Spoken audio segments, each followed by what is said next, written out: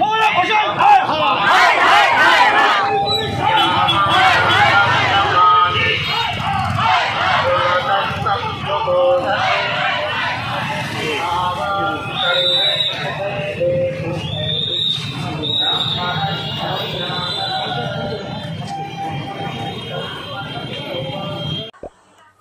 হৃদরোগে আক্রান্ত হয়ে মৃত বিজেপি নেতার পুলিশের বিরুদ্ধে ভয় দেখানোর অভিযোগ তুলে দেহ নিয়ে পুলিশকে ঘিরে বিক্ষোভ ধূপগুড়িতে। সোমবার দুপুরে হৃদরোগে আক্রান্ত হন প্রাক্তন গ্রাম পঞ্চায়েত সদস্য ও গত পঞ্চায়েত নির্বাচনের জেলা পরিষদ প্রার্থী দীপু রায়।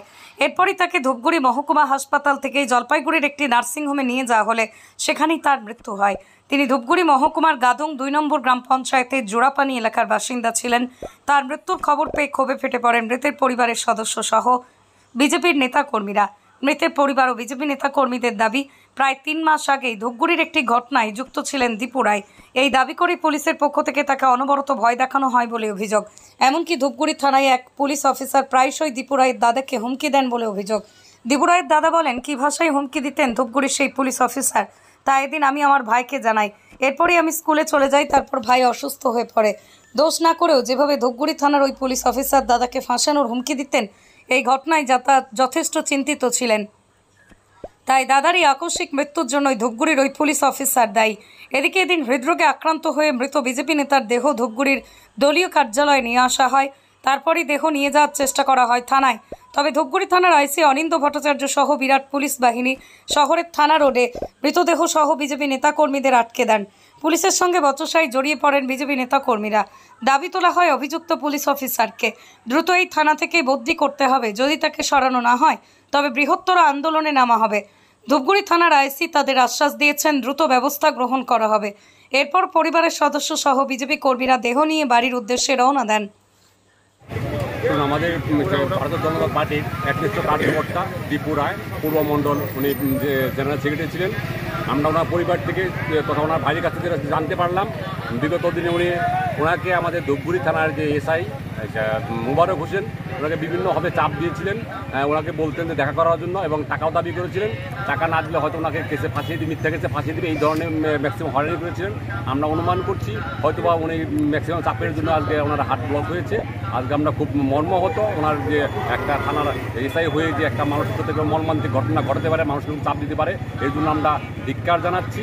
হ্যাঁ, এবং এরও শুনেছি অনেকে অনেক লোককেই নাকি বিগত দিনে একটা ঘটনাকে কেন্দ্র করে কেন্দ্র অনেকের কাছে তারা টাকা দাবি করছে এবং তাদেরকে হুমকি দিচ্ছে যে এই ক্ষেত্রে ফাঁসিয়ে দেবে এবং যারা সই করতে আসছে, জামিন হওয়ার পরেও তাদের সই উনি নিচ্ছে না। এরকম ঘটনা ঘটছে এবং পরিবার থেকে জোরদার দাবি করছেন এবং ওনার ভাই অপু রায় যেটা বলছে, আজকে সকালবেলাও সকালবেলাও আজকে ধূপগুড়ি মুবারক হোসেন, ওনাকে বলেছে থানা দেখা করার জন্য। না দেখা করলে ওনাকে বিভিন্ন কেসে ফাঁসিয়ে দিবে এবং হয়রানি করবে হয়তো এর জন্য উনি একটা চাপ সৃষ্টি করে, হার্ট অ্যাটাক করেছে। যেদিন থানায় যাই থানায় যে আমি, আমার কন্ডিশনে একটা বেল হয়েছে, আমার থানা হাজিরা দিতে হবে। থানা হাজিরা দিতে যাই থানা হাজিরা দিতে যাওয়ার পরে আমাকে বলে তোমার ভাইয়ের নাম কি? আমি বললাম, ভাই নাই। তারপর আমি নিজেই বললাম, আমার দাদা আছে। ত্রিপুরায়? ও চাষিটা নাম দিব? কোনো চাপ নাই। আপনার আছে আচ্ছা গেছি বললাম, চলে আসলাম আমি। দ্বিতীয় দিন গেলাম, দেখা হয় না তৃতীয় দিন, এই গত শনিবার। আবার সেম কথা তোকে কী বলছি মনে আছে? কাকে বলেছে এটা? আমাকে বলছে কি বলছি কে বলেছে? মুবারক হোসেন। কে? উনি কে? ধুপগুড়ি থানায় কর্মরত। বারবার আমাকে বলতেছে দাদা আজকে সকালেও আমি দাদাকে বলছি দেখ মুবারক বারবার বলতেছে। মুবারক বারবার তোকে বলতেছে থানায়। উনি অলিখিতভাবে কিন্তু অন্য জিনিস বোঝাতে যাচ্ছে। আমি একুশ বছর হাই স্কুলের টিচার আমিও ভাত খাই কিন্তু। কী বলতে যাচ্ছে? আমি দাদাকে আজকে বললাম ঘটনাটা। দাদা আমাকে বলল এতে কী হয়? বাইক থেকে যদি ধরেও নেয় নিলে আমি ছাড়বো না আমি যাব না। বারবার একটা কথা কেন বারবার বলবে?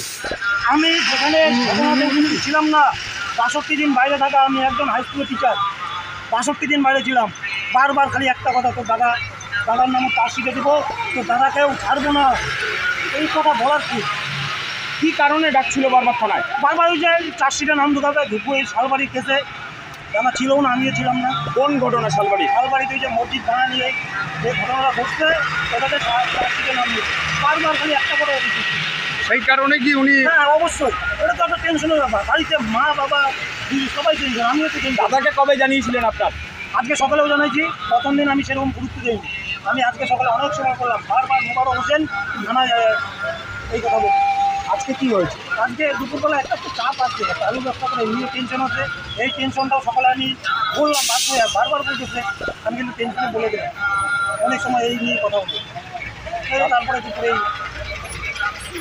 আরে উনিও অলিখিতভাবে অন্য কথা বলছে? কি বলছে? বলছে আরে একটা কথা তোমাকে এর আগের দিন কি বলছি? তোমাকে এর আগের দিন কি বলছি? মনে আছে তো কথাটা? এইভাবে বলতো? এইভাবে, হ্যাঁ। আমি মিথ্যা কথা বলার কেউ না। যা বলছে দিত কে হয় যে নিজের দ্বারা আপনার নাম? অপুরায়